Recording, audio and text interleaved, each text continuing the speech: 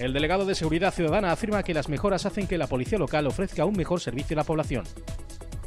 Expuestas al público hasta el próximo lunes 15 de abril las listas del censo para las elecciones locales y europeas del próximo 26 de mayo. El Partido Popular de Chipiona se congratula del éxito de la primera edición del Salón Manga. Unidos por Chipiona apuesta por Chipiona Balneario Natural. Cultura apuesta por un certamen de pintura rápida para dinamizar el segundo fin de semana de mayo. La Delegación de Deportes trae a Chipiona una muestra sobre los 50 años de Repsol en los deportes de motor.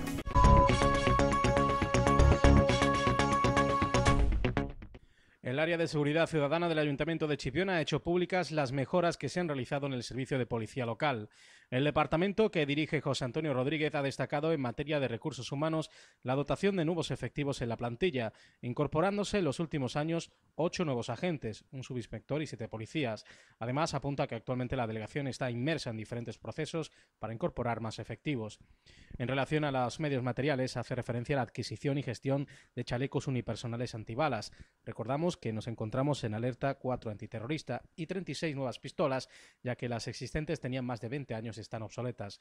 Rodríguez ha avanzado que se va a incorporar también al servicio una unidad drone con la finalidad de poder vigilar mejor la costa, llevar a cabo un servicio de búsqueda de desaparecidos, esclarecer delitos, control de puntos en los que depositan escombros y enseres, convirtiéndolos en auténticos vertederos y implementar la seguridad de los eventos. Todo ello señala sumado a la adquisición de vehículos nuevos hace que la policía local disponga progresivamente de medios suficientes para realizar sus funciones.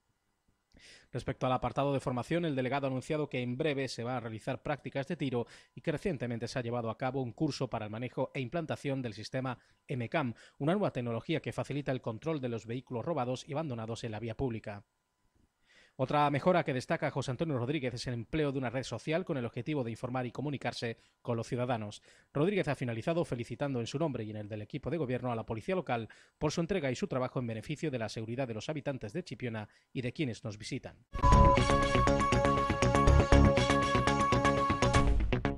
El Ayuntamiento de Chipiona ha abierto el periodo de exposición al público del censo electoral para los comicios municipales y europeos que tendrá lugar el domingo 26 de mayo.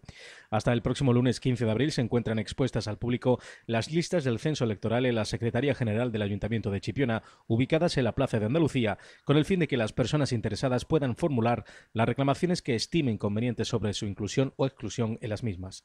Asimismo, se hace especial hincapié en que consulte las listas aquellas personas que van a votar por primera vez, aquellos que hayan cumplido los 18 entre el pasado 2 de diciembre de 2018, fecha de las elecciones autonómicas, y el 26 de mayo de 2019, fecha de las elecciones locales y europeas de 2019. Y también a los ciudadanos que hayan cambiado de domicilio desde el mes de diciembre del año 2018 hasta la fecha.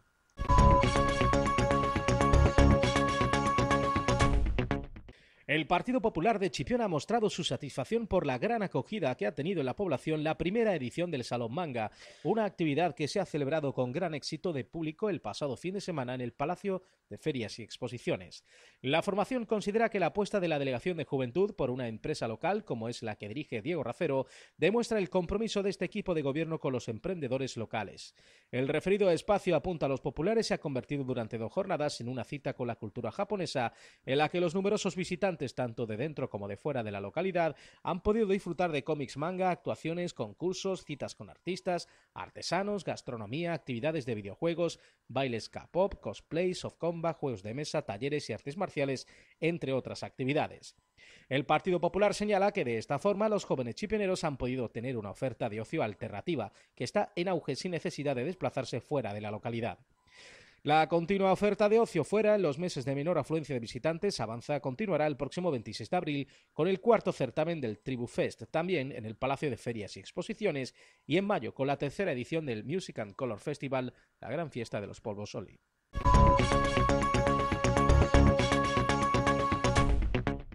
Unidos por Chipiona considera que Chipiona Balneario Natural es el eslogan que define un modelo turístico basado en la utilización de las aguas yodadas del mar y los productos saludables de la localidad. Chipiona, sostiene, fue la pionera en la instalación de balnearios marítimos allá por el siglo XIX gracias a las gestiones del doctor Tolosa Laturi, a las aguas, las algas, el clima, las horas de sol y la temperatura. La hacen ideal para convertirse de nuevo en un referente de salud. No obstante, la formación entiende que para que la localidad se consolide como balneario natural se necesitan unas nuevas instalaciones hoteleras de calidad. Unidos por Chipiona señala que con Luis Mario Aparcero como alcalde con experiencia gestionarán la construcción de un hotel balneario aprovechando las aguas yodadas y el excelente clima como un modelo nuevo que ponga en valor la salud, la medicina natural, las algas y la talasoterapia como dinamizador turístico.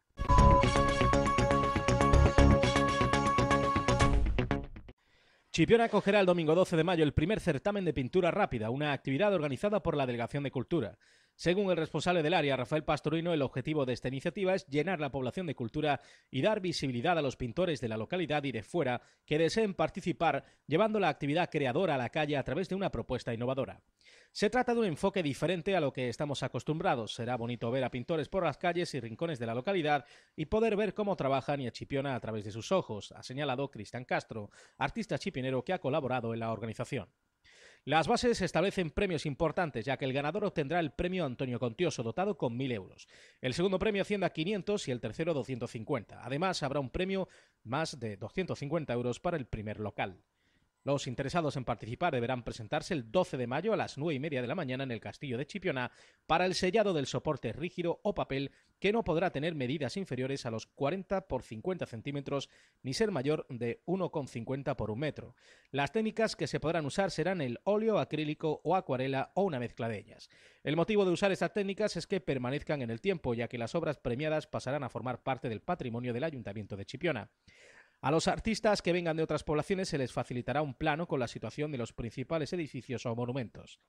Los participantes tendrán hasta las 5 de la tarde para realizar su obra, que versará sobre rincones de Chipiona y su gente. Una vez finalizados, las obras serán expuestas al público en la Plaza de Andalucía. Desde la organización se anima a aficionados y amantes de la pintura a participar en este certamen para que la localidad se convierta en un lugar repleto de cultura.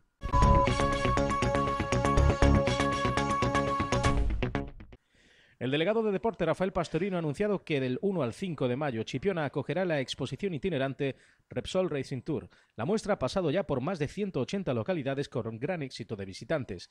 Se trata de una exposición gratuita e interactiva que supone un plan de ocio perfecto para toda la familia. Repsol Racing Tour estará abierto en la Plaza Nuestra Señora de Regla en la fecha referida de 10 a 2 de la tarde, de 4 a 8, de miércoles a viernes y de 12 a 8 de la tarde el fin de semana, que recordemos coincide con el Mundial de Motociclismo en Jerez. Repsol cuenta con más de 50 años de presencia en las competiciones más exigentes del mundo del motor, donde ha encontrado el mejor banco de pruebas para desarrollar los carburantes y lubricantes que ofrece a sus clientes.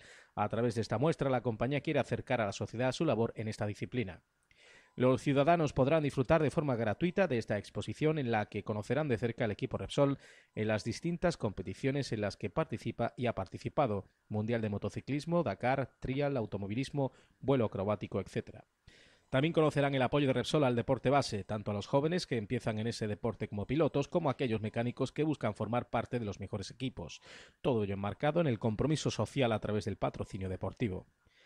Repsol Racing Tour es una exposición que consta de una unidad móvil con elementos interactivos, realidad virtual, exposición de objetos históricos, contenidos audiovisuales, multimedia, etc. Cuenta con la moto con la que Marc Márquez ganó el Mundial de MotoGP en el año 2017. Junto a la unidad móvil principal se instalará además un circuito hinchable de motos infantiles. Las actividades son completamente gratuitas y están destinadas a toda la ciudadanía, permitiendo a personas de todas las edades disfrutar y aprender acerca de los deportes de motor. La unidad móvil está adaptada y cuenta con los correspondientes equipamientos que facilitan el acceso y participación a personas con movilidad reducida y para invidentes.